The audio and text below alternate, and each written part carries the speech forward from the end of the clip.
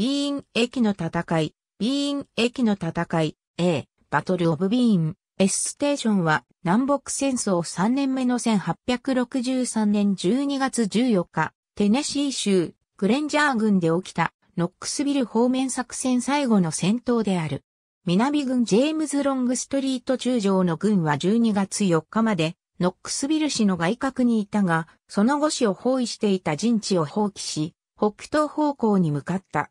北軍はノックスビル防衛軍を指揮していたアンブローズ・バーンサイド少将の後を継いだばかりのジョン・ジー・パーク少将が南軍の後を追った。12月13日、北軍のジェームズ・エム・シャックルフォード准将の部隊は、ホルストン川沿いのビーン駅近くにいた。ロングストリートは、一旦戻って、ビーン駅を占領することにした。南軍の3部隊と砲兵隊がビーン駅に接近し、北軍を捕まえようとした。12月14日午前2時までに、一隊が北軍の紹介隊と小競り合いを行った。この紹介隊はできる限りの抵抗をし、シャッケルフォードに南軍の出現を知らせた。シャッケルフォードは部隊を配置して攻撃に備えた。間もなく戦闘が始まり、ほぼ1日中続いた。南軍の側面攻撃やその他の襲撃が様々な時刻と場所で起こったが、北軍は南から援軍が到着するまで持ちこたえた。夜の訪れまでに、北軍はビーン駅を捨て、ビーン峡谷を抜けて、ブレインの交差点方向に撤退した。ロングストリートは、翌朝北軍への再攻撃を始めたが、ブレインの交差点に近づくと北軍が塹壕線を固めており、追い出せそうにないことが分かった。ロングストリート軍は撤退し、間もなく北軍もその地域を離れた。このビーン駅の戦いで、ノックスビル方面作戦は終わった。ロングストリート軍は、間もなく、ラッセルビルで、冬季宿営に入った。1863年の後半数ヶ月で、南北戦争は、北軍有利の方向に傾き始めた。南軍は、ゲティスバーグの戦いに敗北し、ワシントン DC に進軍する望みを失っていた。この時期を南軍の分水嶺と呼ぶことが多い。ゲティスバーグの翌日に南軍はビックスバーグ包囲戦の結果としてミシシッピ州ビックスバーグ市も失った。イギリスはゲティスバーグでの南軍の敗北を見て南軍に援助を送るのを止めることにした。1863年11月29日、ロングストリートはノックスビルのサンダーストリデを攻撃し、大きな損失を出していた。気候も、友軍の状況もそれ以上ノックスビルの包囲を続けられないことを示唆していた。12月4日、ロングストリート軍はノックスビルから撤退し、北東のロジャースビルに向かった。北軍のジョン・ジー・パーク少将は、テネシー州で撤退する南軍を追跡させた。その夜、南軍は、ロジャービルの西18マイルのブレインの交差点に到着した。ノックスビル包囲戦で実質的に耐え抜いた北軍の将軍アンブローズ、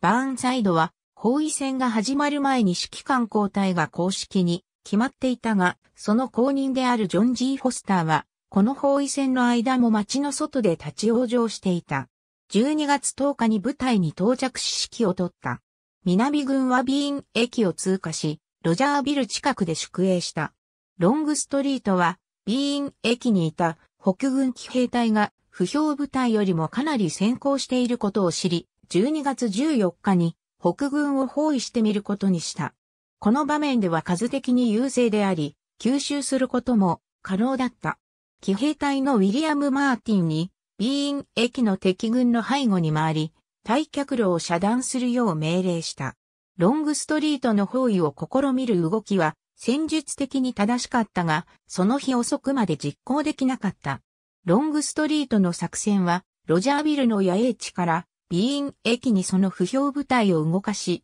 マーティンの騎兵4個旅団が、ホルストン川の南岸に下って、駅のある場所あるいはその下流で川を渡ることとし、一方、グランブル・ジョーンズの騎兵2個旅団が、クリンチ山の北側に行き、ビーン駅の渓谷で北軍の退路を断つことになっていた。12月14日朝、ブッシュロット・ジョンソンの不評師団が動き始め、その後ラファエット・マクローズの師団とフット師団の一部が続いた。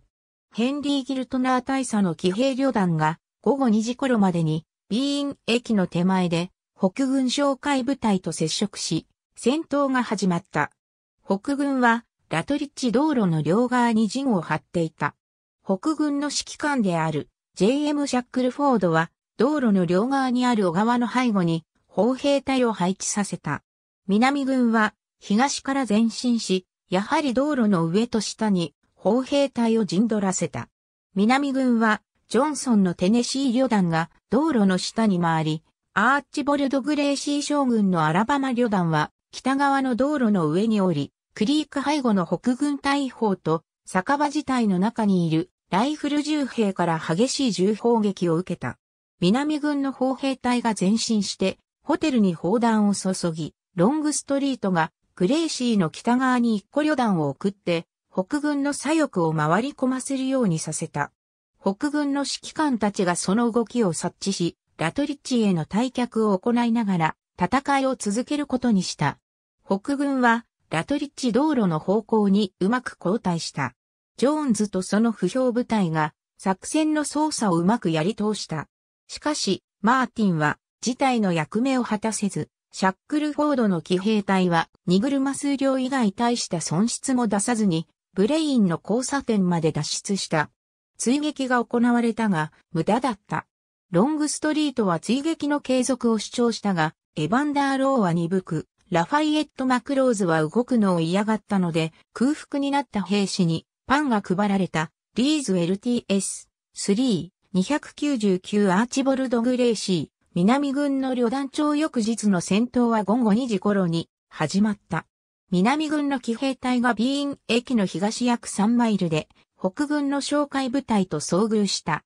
これがすぐに全面的な戦いに発展し、南軍側はアーチボルド・グレーシー準将の旅団が前面に出た。北軍の騎兵隊がゆっくりと交代を強いられた。一個師団が北軍の左翼に回り込むことができた。暗闇が訪れた時に南軍がビーン駅を占領していた。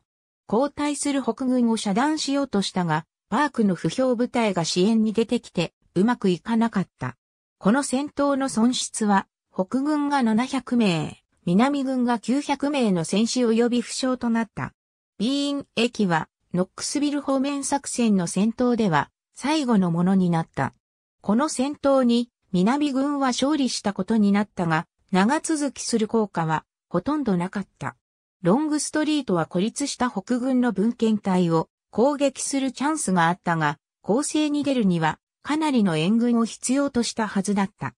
冬に入っていたので、東テネシーでの戦闘を中断することにした。翌春、ロングストリートの部隊は北バージニア軍に復帰した。ありがとうございます。